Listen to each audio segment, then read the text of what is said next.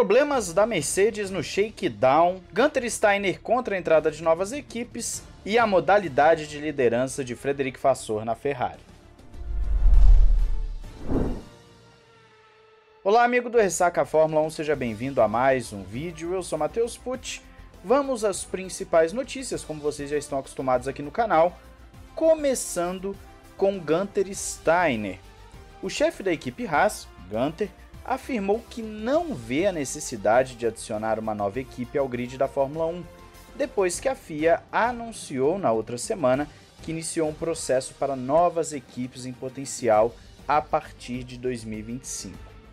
A Haas, que ingressou em 2016, continua sendo a mais recente adição à Fórmula 1. Vários participantes em potencial surgiram, incluindo Michael Andretti, que está construindo uma nova instalação importante para sua equipe multidisciplinar de automobilismo lá em Indianápolis e atraiu o apoio da gigante automotiva americana General Motors para sua candidatura à F1.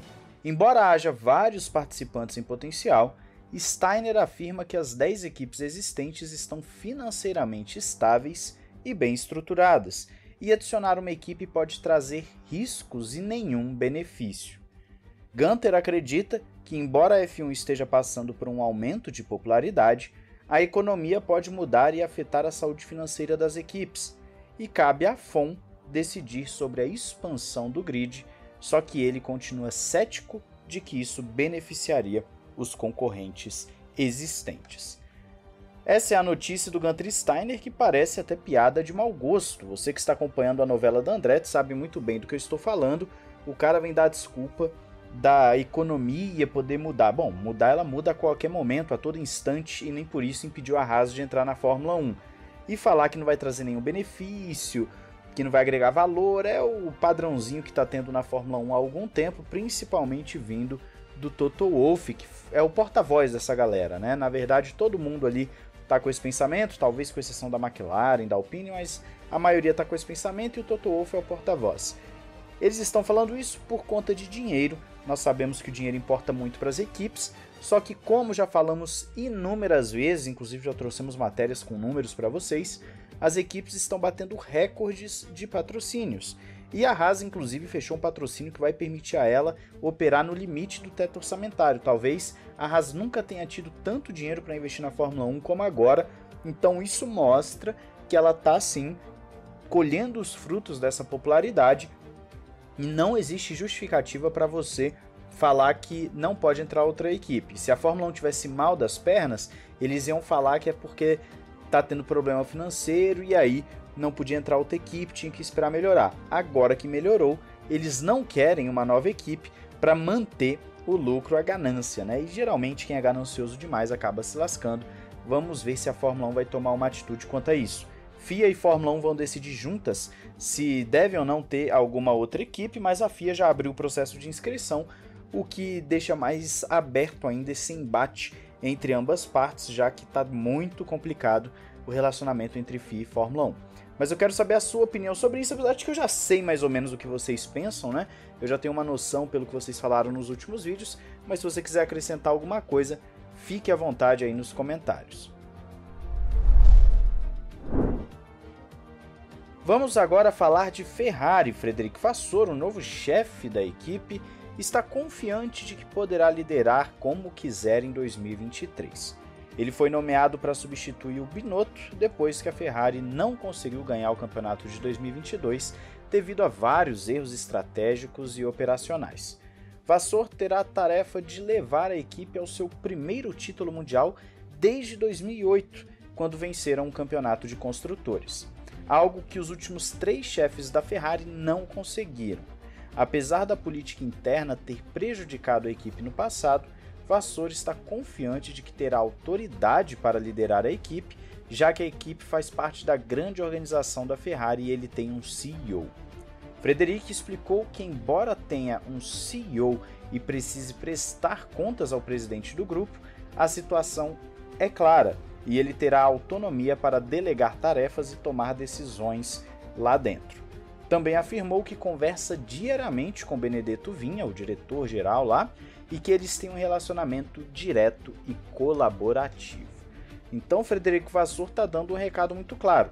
Ele tem autoridade, ele pode sim tomar as rédeas, as decisões do que acontece na Ferrari, e isso talvez seja o que a Ferrari precise. Apesar que Mattia Binotto também tinha poder, Mattia Binotto teve poder para reformular a Ferrari, para deixar a Ferrari no esquema que ela está hoje de poder disputar um título. Mattia Binotto fez aquilo que era necessário na Ferrari a nível de estrutura, a nível de organização, talvez não a nível de estratégia, mas o Mattia Binotto fez o que deveria ter sido feito e deu resultado. A Ferrari deu um salto de qualidade de 21 para 22 e agora vamos ver se em 23 consegue disputar o título, que é o grande objetivo do cavalinho rampante.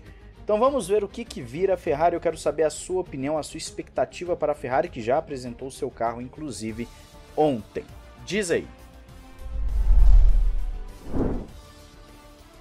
Agora vamos falar sobre o tal problema que a Mercedes teve no motor no seu shakedown. Pois é, isso está rolando na rede social e o que eu vou falar para você talvez não seja exatamente o que você quer ouvir. Até o momento da gravação deste vídeo, eu estou gravando isso aqui por volta das 4 horas da tarde, basicamente não vi uma única pessoa conceituada no mundo da Fórmula 1, um único portal conceituado, nada falando sobre o tal problema. Isso estourou nas redes sociais, talvez porque a Mercedes não postou o videozinho que ela tinha prometido do shakedown, mas fato é que até o momento não vi nada. Pode ser que posteriormente a Mercedes venha a público confirmar? Pode ser, sim. Mas até o momento não há nada que confirme. E você deve estar se perguntando: o que, que aconteceu, Matheus? Estão falando que o dia de testes da Mercedes, o shakedown, foi abortado por conta de um problema de ignição e a unidade, inclusive, teria sido enviada para reparos. Não sabemos se é verdade, porque, como disse a vocês agora, não saiu em absolutamente nenhum lugar. O pessoal que está passando essa notícia não está colocando fontes ou as fontes são extremamente questionáveis. Ninguém grande na Fórmula 1, ninguém grande nos portais de notícias da Fórmula 1, que geralmente tem gente dentro da Fórmula 1, falou sobre isso. Então, por mais que eu tenha visto canais aqui do YouTube, uh, pessoas que acompanham também no Twitter, que são bem legais e tal, terem falado sobre esse problema, até agora não vi nada. Na hora que saiu a notícia lá no Twitter eu até coloquei: bom, a máxima da pré-temporada é: se você tem problema agora, é melhor do que ter depois. Mas a notícia em si não saiu de lugar nenhum. Até agora não vi em nenhum dos grandes portais, em nenhum local conceituado ou confiável sobre esse tal problema. Agora, se teve o problema, devemos dizer que é melhor ter agora do que nas corridas. A pré-temporada está aí para isso.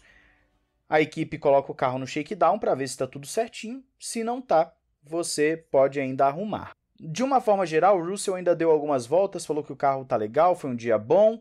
Ele foi perguntado sobre o porpoising e deu uma desconversada, disse que a gente vai ter que esperar para ver semana que vem. Então vamos ver se o porpoising da Mercedes foi resolvido porque esse era o grande problema deles no ano passado.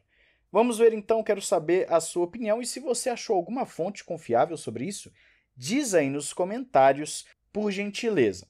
Tem o nosso Guia da Fórmula 1 2023 falando sobre pilotos, circuitos, equipes, história da Fórmula 1, mais de 140 páginas. Dê uma olhada aí na descrição e no comentário fixado. Um grande abraço, valeu e falou!